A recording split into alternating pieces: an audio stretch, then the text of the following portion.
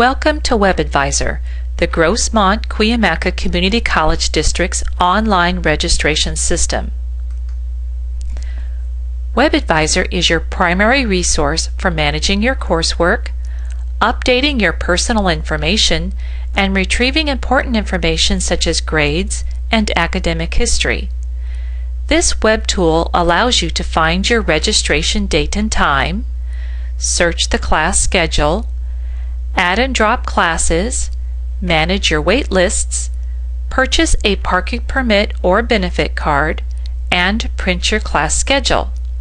You can also view and print your grades and make payments.